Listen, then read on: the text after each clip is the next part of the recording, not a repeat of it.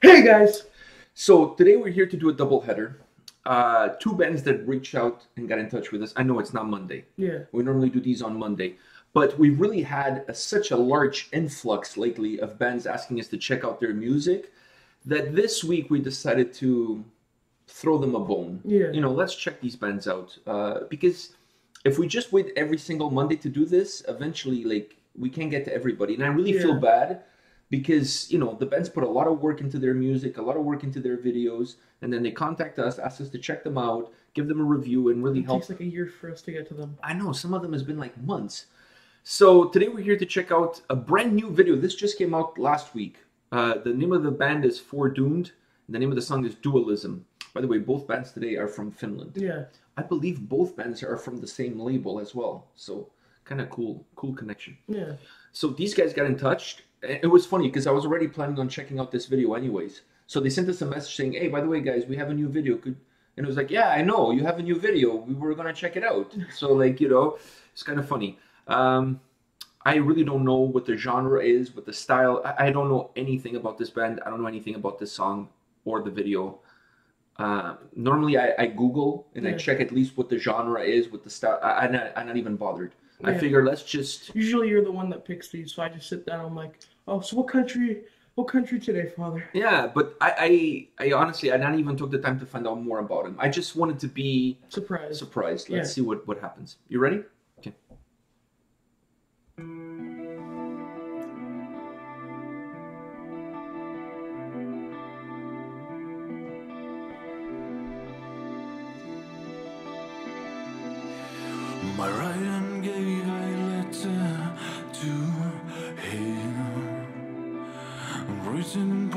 Poetic words, phrases, in a language of all the worlds. My left hand gave a letter to him, written with love, devotion,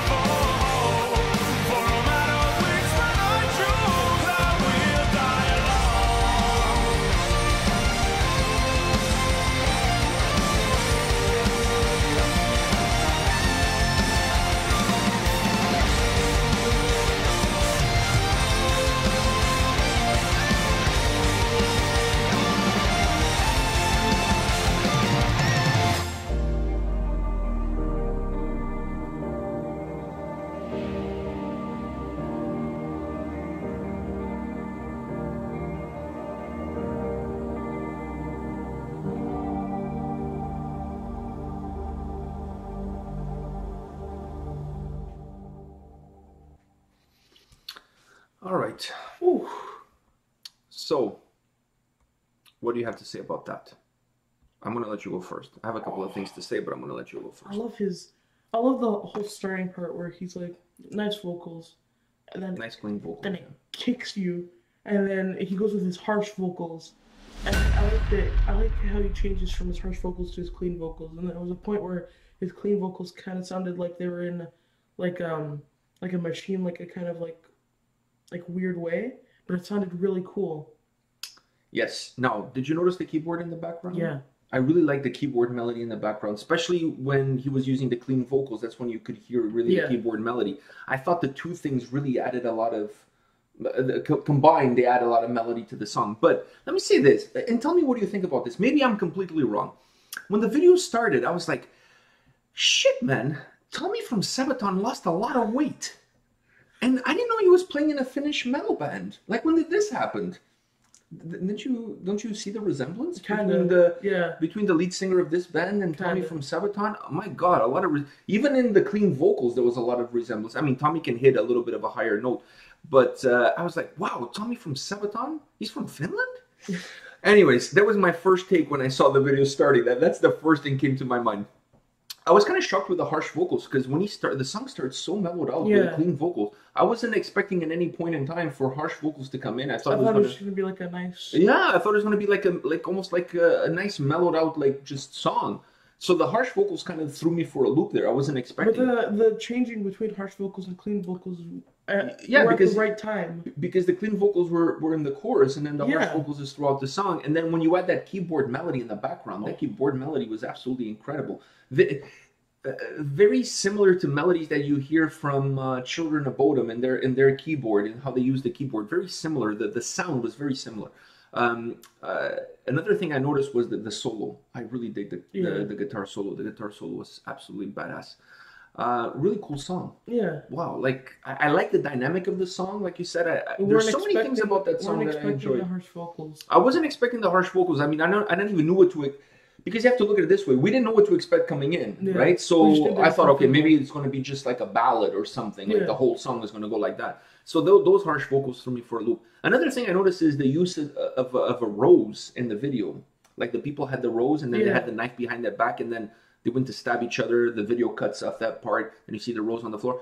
I, I don't don't understand what the connection is between Finnish metal bands and roses to sim- to signify life and death because Blood Red Hourglass uses them in their last two videos as well, Yeah. where the roses signified life and death. I, I don't know if there's a um, the thing with a cultural connection Yeah. with roses and and, sim- and the symbolism behind them. I don't know, but it's kind of strange that both bands kind of used that specific flower as as a symbol to life and death. I thought that was kind of cool, cool and interesting at the same time.